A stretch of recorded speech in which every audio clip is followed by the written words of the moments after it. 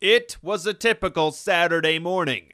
Or was it? During my usual backward somersault practice, something wonderful caught my eye. Somebody or something had left an unopened pack of Oreos for me to discover. It had been so long since I last had an Oreo cookie, I had nearly forgotten the correct way to enjoy them. I knew then what I had to do. I had to take these delectable treasures home and put myself to the test. This wasn't going to be an easy task, so I knew I couldn't rush things. I first timed the cookie, tried to remember what it was I was timing, realized it was nothing, and quickly scrapped the idea. I then tried to impress the cookie by doing some silly voices. You're gonna get eaten by me. Okay? Oreo. Oreo.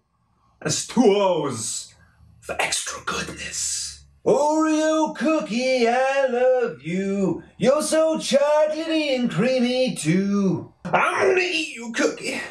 I just don't remember how to do so. It soon dawned on me that it wasn't me that the cookie was supposed to enjoy, but rather the cookie that would have to be enjoyed by me. As I said before, it had been quite some time since my last Oreo, so a few things were bound to be off, like depth perception. Once I remembered where my mouth was, the next big challenge was what is the best way to eat it? I tried the old fashioned knife and fork technique, but it proved unsuccessful. Simply twisting it is probably the most enjoyable way I quickly discovered. Sure, the cookie tasted delicious, but what would make it more delicious? Er? That's right, orange juice!